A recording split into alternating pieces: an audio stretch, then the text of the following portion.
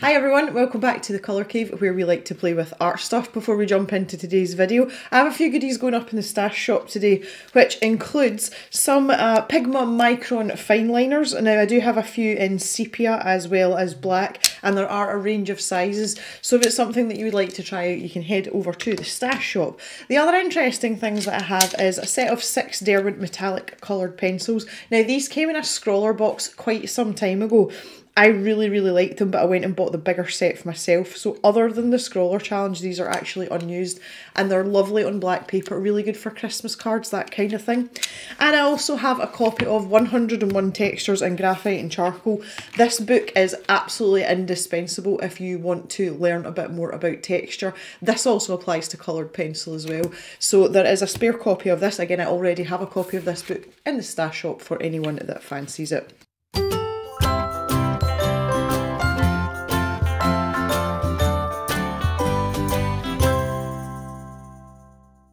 So welcome back everyone and welcome back not only to the channel but to Seasons as well by Hanna Karlzon and we're going to jump back in here and we're going to look at colouring autumn leaves. I absolutely cracked myself up after the last video in here where I spent all my time in a turnip. The first comment when somebody said um, it's a beet it was so blatantly obvious and I don't know why I picked up on that in the first place. Like it really it gave me proper belly laughs and I thought that just must be my Scottishness coming out. The size of the actual crop to the leaves should have made it perfectly obvious that it was a beet. But never mind um, you know it's just my imagination it's fine Anyway, today we're going to be focusing on these leaves. Now, I have just been out to the garden. As some of you will know that I have a lot of really big trees in the garden. So I brought a selection of leaves in. They're still a wee bit damp. Um, I wanted to bring them in fresh because the heat in the cave just makes them curl up really, really quickly. Uh, so you can see I've deliberately picked some here. Uh, this one has a little bit of yellow and green in it. And I've kind of gone from there through the varying stages of decay um, to uh, the, these little leaves here. These always come out quite nice, nice reddish colours, and obviously I've got this one here as well. So this is kind of going to be my reference, and I'm not going to use all of them, obviously, because we have only two leaves here. What I was thinking, though, is if we look at these colours next to what we've already got in our picture, because again, although these items are individual, we do want it to tie in quite nicely. And I feel that we should maybe go for some browns because it's something that we don't have a lot of. That might be quite nice. So just as before, we are using the Castle Arts pencils. And now I can confidently say that I am enjoying these pencils in this colouring book. They do seem to be temperamental. I didn't get on well with them in Johanna Basford's colouring books. But for the purposes of what we're doing here, the colours are great and they're going down really well on the paper. So I've got my swatch book here as well and I'm going to try and match up some of these leaf colours to pencils or the closest that we can and then we can do a bit of layering and blending just to get them where we want them to be. Uh, not Crayolas, no. I'll get cadmium yellow. And then there's a wee bit of green and brown in there. Mm, probably cadmium green pale. Which, funnily enough, was one of the colours we used up here. And then we've got a bit of reddish brown here as well, which looks remarkably like burnt sienna. Alright then, and just for this darkest leaf now, oh, so nice. Uh, I think we can attribute some of the burnt sienna before in some of these paler parts, especially if I hold this up to the light, you can see the light shining through it, it's much more red. So I'm sticking with the darker colours again, just looking at this leaf as a whole, that's what I'm trying to achieve. So I'm going to start with my lightest brown. In fact, I might even bring in a little bit of the uh, of the cadmium yellow just as a base layer that's just what I'm going to do. So grab the cadmium yellow and I'm just going to put a light layer of this down over all of the main parts. I'm not going to bother with the veins just now because they're going to be quite dark. Uh, what, th what this lets us do is it gives us a little bit of room for manoeuvre. It keeps the colours nice and warm. Uh, it means we can have a little bit of variation, so if we decide we want to make an odd spot in it, we can really build up the yellow and it'll stand out. So that's quite nice just to give us options because you want this to be quite free flowing. We don't want to be following something rigidly as I said because it just it makes it look really odd and unnatural. So I'll pop that up there just now and now I'm going to grab my burnt sienna and I'm going to concentrate on first of all sharpening it. At these two tips here I'm going to keep these quite um quite a reddish orange. Right, let's get zoomed in a bit now. So I'm going to concentrate on these two tips here. So I've got my burnt sienna and I'm just going to put a layer of that down to about halfway down that leaf there. And I'm going to do the same here. So that's very, very, very light. So if I alternate now between this cadmium yellow and using the same pressures I've just used, really, really light, so we're layering up here, this is going to give us a nice bright spot on this leaf and it's given us a nice variation. Because if we start to layer up this sienna now on top of this, it's going to give it a really nice sort of orangish, reddish hue. Now when you come to the edges you can just go very gently and feather that out there. So I'm going to put another layer of this burnt sienna down now. We're starting to build these layers up now. And that's given us a lovely colour. Absolutely lovely. Look at that. Really, really nice. So I'll maybe do one more layer of, of the cadmium yellow. Now with this sienna, this burnt sienna, we want to start working it now. And what we can do is we can start building up maybe some here and we can carry that colour on perhaps down into the main part of this leaf here. Oh, I love it when the sun comes out. Oh, I'm blind! Bet you when I go to uh, take the dogs for a W8LK in about an hour's time, the sun isn't out like that. I can guarantee it'll be raining always the same. I do find it quite amusing though because it always comes out when I'm colouring. It's not even when I'm drawing or painting, it's always when I'm colouring. Okay, so I'm quite happy with that as a starting point, but we want to bring in some richer, deeper colour here. So this little section here, I'm just going to do exactly the same as I did over here. So alternate a wee bit of the yellow and the, the sienna. And I might even favour more towards the yellow on this, just this tiny little part. And again, this is about going with the flow and deciding what's what's you know what's right for you and what's not. So yeah, I think I'm gonna um I'm gonna leave that more yellow than brown. Just that very end there. And then I can start working this down. So for the time being, I'm going to say goodbye to my cadmium yellow. And uh, I'm just back to this burnt sienna now. And I'm going to join this up with the part that we were just doing over here.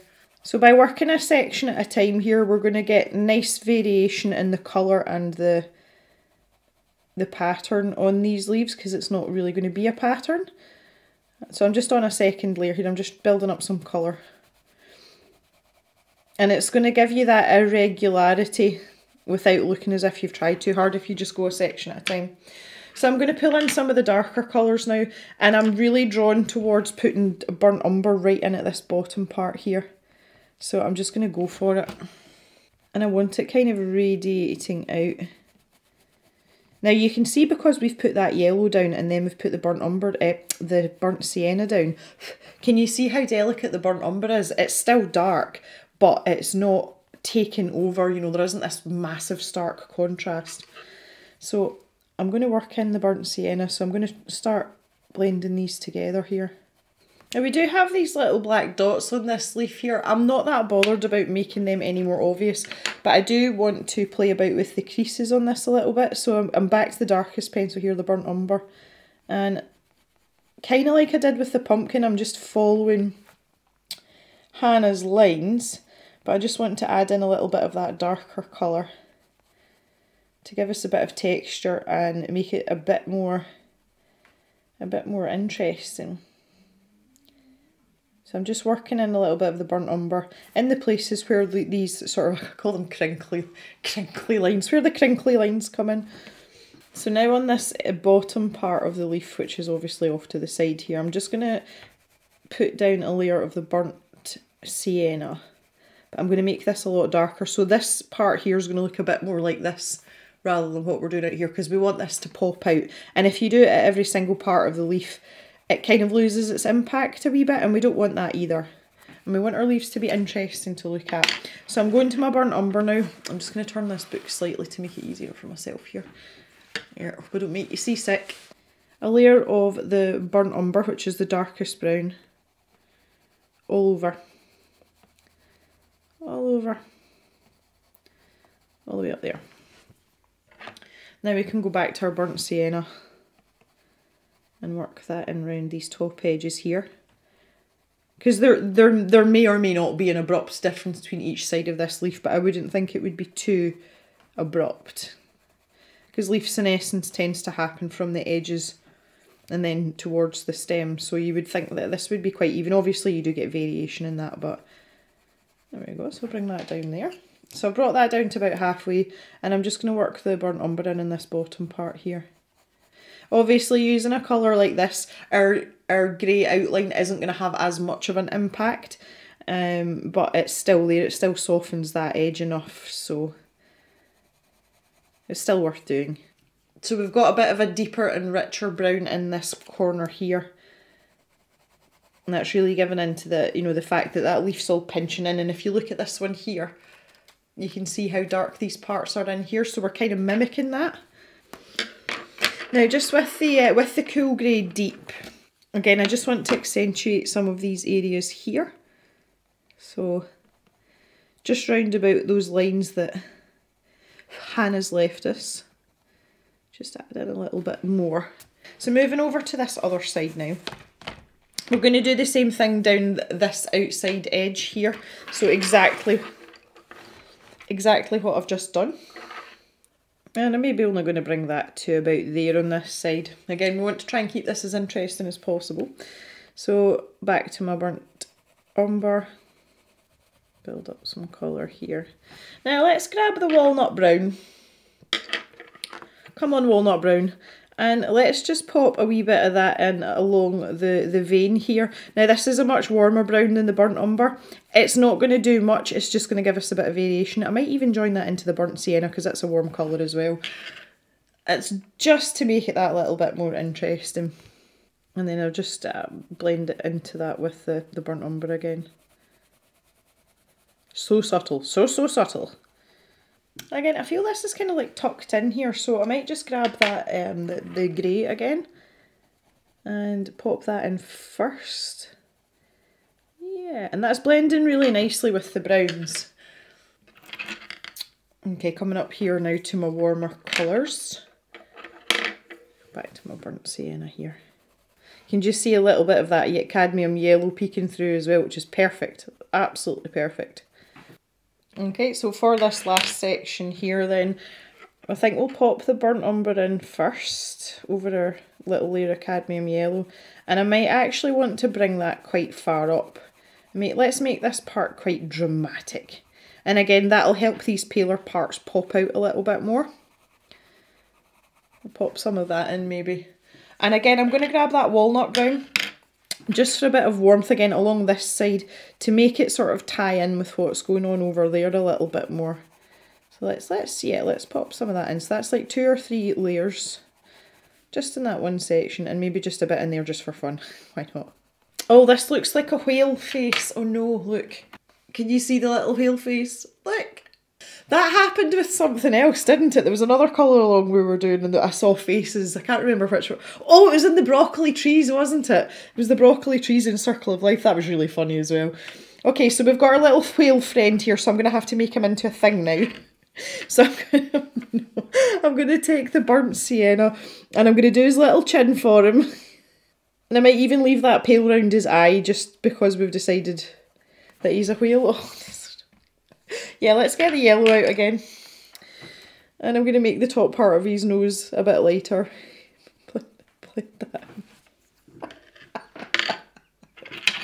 simple things, folks, simple things.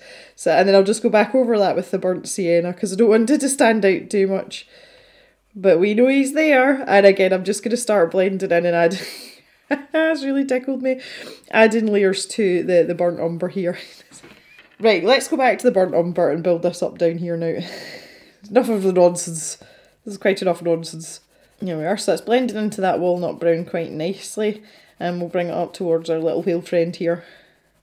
Just hanging out, chilling out at the end of his leaf, you know, as you do when you're a whale. Uh, again, just in this uh, in this crevice here, I'm going to take a little bit of this cool grey deep. And then just back to this burnt sienna to finish off blending out our little whale friend here. He looks lovely, by the way. And then we'll do the same, we'll just take this burnt sienna. Now when I step back and look at that leaf, there's quite a lot going on there, so I don't want to I don't want this to be any more exotic than it already is because it just starts to look a bit kind of um overdone. So I'm just going to take this burnt sienna over this whole area. And all we're doing is going to build this up now so that we get some nice rich colour. And again, I can take my burnt umber and I can just accentuate some of these creased areas here if that's what I want to do, which I do. Now I'm going to take this cool grey deep and just a very gentle bit of that down the veins and then again to my darkest pencil which is the burnt umber and I'm going to make sure I've got a really pointy point on this just because we're working in a tight space. So that was on a number five on the on the Tagal. so that's the longest pointiest point you can get. I was wondering whether that was going to be okay or not because we've had a little bit of a problem, but it seems to be okay. And I literally just want to fill this in, block colour it. No point in worrying about wee tiny areas like this. Just do the doing. Do it, do it, do it. And if you need to sharpen halfway through, then so be it. Again, I'm using quite a firm pressure here because I'm not going to be putting in any shading or anything like that. So one of the very few times I can lean fairly heavily. And there we go, that's our first leaf. So if I zoom out a little bit now, it's adding to our autumnal page fairly well here. I've already decided in this time that we've spent colouring this, I don't want any green in this because I just feel like there's too much green going on.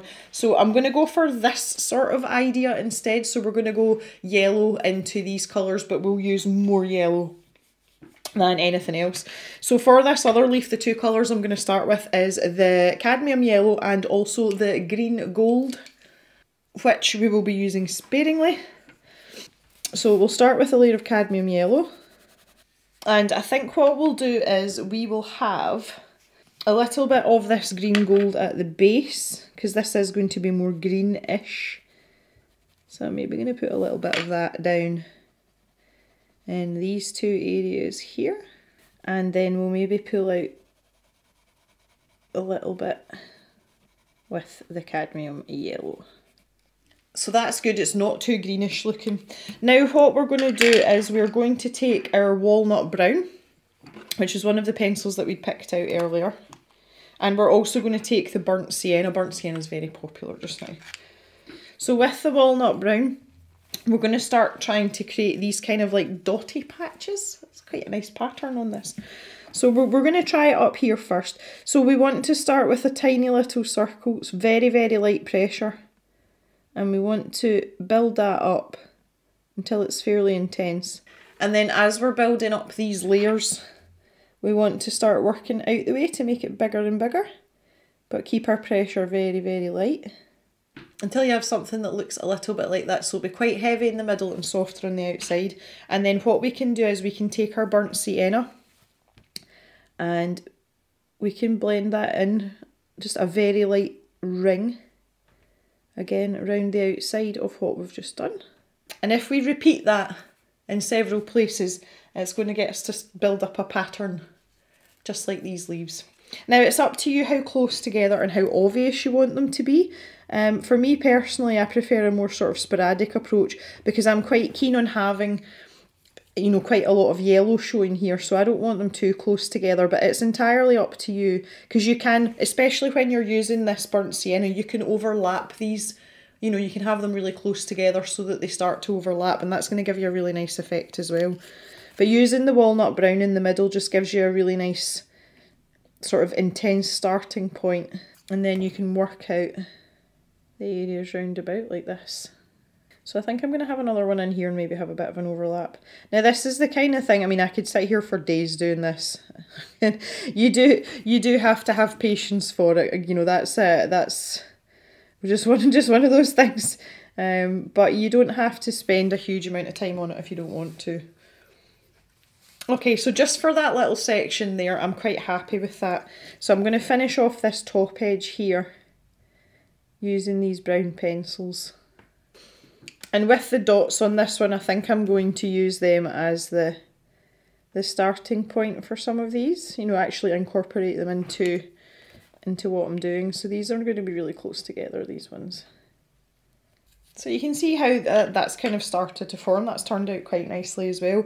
So now I'm going to go back to my cadmium yellow and I'm going to put a layer down on top of everything. So that's going to help soften the edges of these brown spots as well. Can see that's looking fairly, fairly good. I may even build up a little bit more colour, the likes of in here. And I can take my green gold and I can work on this fold here. Maybe just build a little bit of that up in there. Kind of the way they were doing with the grey over on this one. So we're going to do more of the same here. We're going to build this up And build up this pattern. So the walnut brown to start with and then the burnt sienna for the outer edges. So while we're doing this, uh, this is just exactly the same we've just done. I'm not doing anything different. So while we're doing this, I'll tell you a funny story about um, colours. Most of you will be in a position where you have probably one set of pencils that you know fairly well, you know, you and you know the colours and where they are in your pencil cases and all that jazz.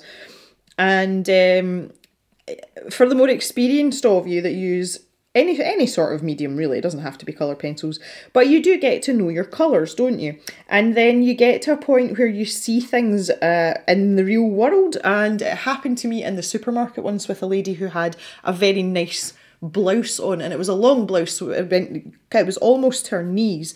And she was in front of me at the checkout putting her shopping up. This was way way before the pandemic. Putting her shopping up and I took one look at her blouse, and the first thing that came into my mind was, oh, that's chartreuse. I was thinking about the Prismacolor pencil. Uh, I really wanted to like pull out a swatch book just to see how close I was.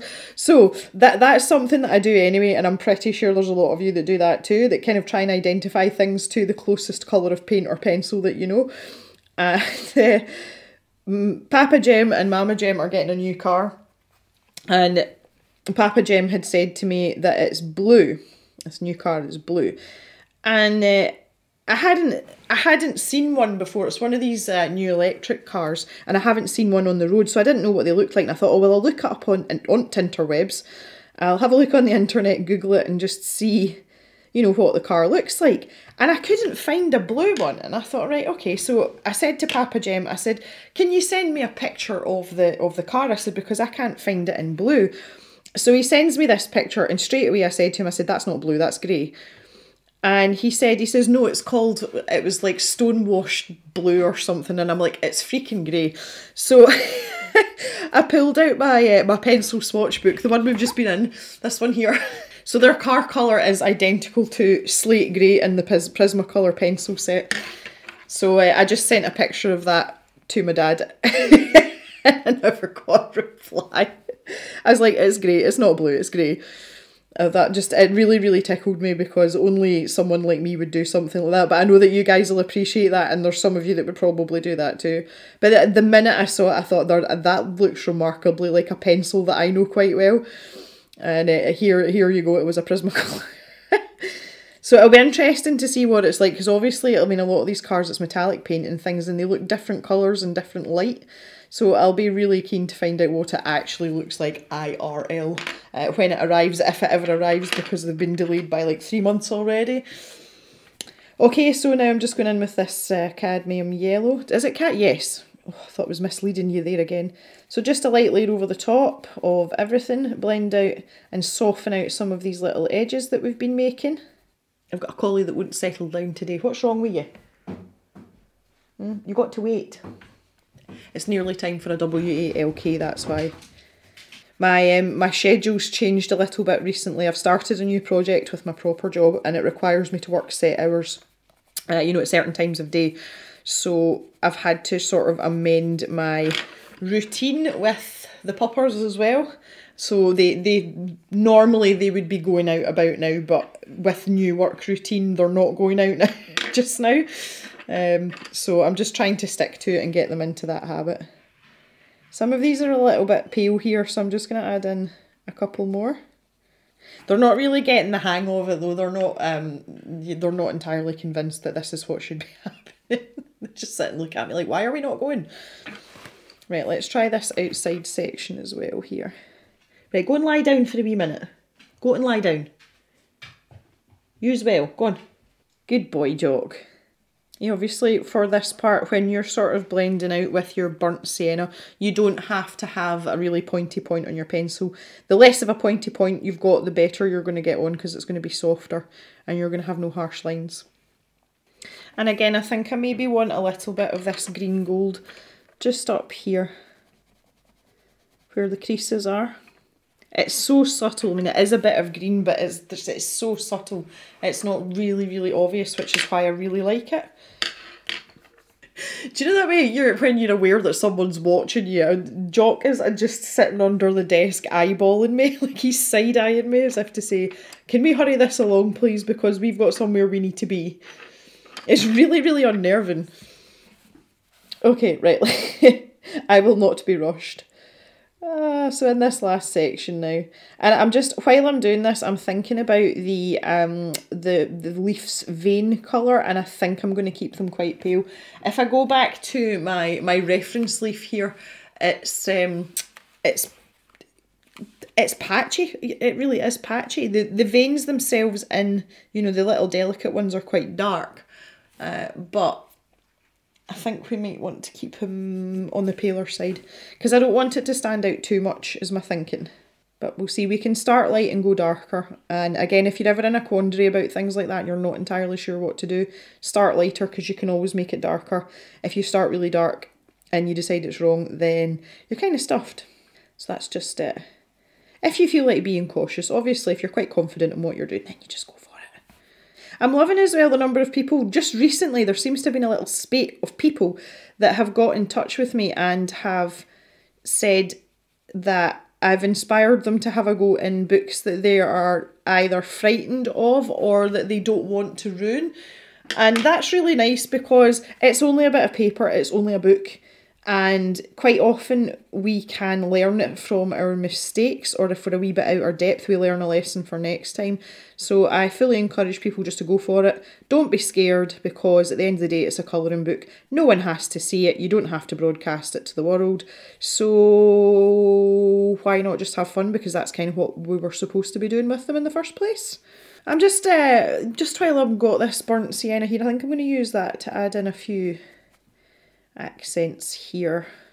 Again, we don't want it to stand out too much against everything else. Okay. Again, I think I'll just grab the green gold.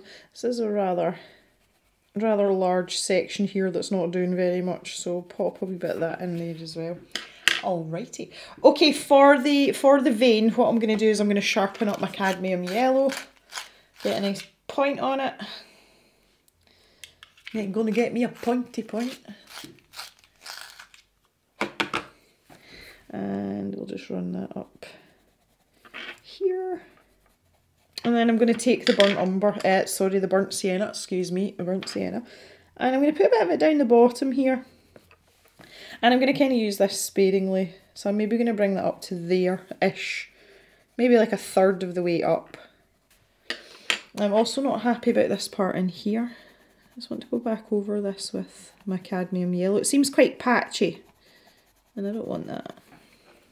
Okay, so let's take a zoom out now that we've finished our leaves and see how they look in with the rest of the picture and uh, they're definitely fitting in with our autumnal theme. I'm really glad I didn't use the um, any green in that because I just think there's there's the green's kind of like taking over the page a little bit. I will have maybe a little bit of green down the bottom here just to you know kind of like tie it in together and maybe again the same here on these acorns but we shall wait and see. So uh, I hope that's given you some ideas for some autumn leaves today. Uh, obviously as well we can have a look at the real thing right here for those of you uh, that don't live in a climate where it is currently autumn, or if you live somewhere like Hawaii, you know who you are. I'm looking at you. fall, fall in Hawaii. So yeah, I hope that's been interesting for you today, maybe giving you some ideas for colouring your own autumnal leaves. I've had really good fun with this. I think what we're going to do with this is um, I might actually finish this on our live stream. The live stream is on the 23rd of November. It's a Tuesday and it's going to be in the evening. So if you are available, uh, we'll maybe come back to this and do a bit more on that on that particular day, which isn't that far away now. Is that next Tuesday? Yeah, it'll be next Tuesday. So come and join us for the live stream if you are able to. That would be amazing, and uh, we can we can jig away with this for a little while longer. All right, guys, thank you so much for watching. Please stay safe, take care of each other, and I will see you back in the cave on Sunday for another video. Did you hear that? Ah, that's Jock cantering through the house because he knows I'm finishing up and it's time to go for a walk. see you next time, guys. Bye bye.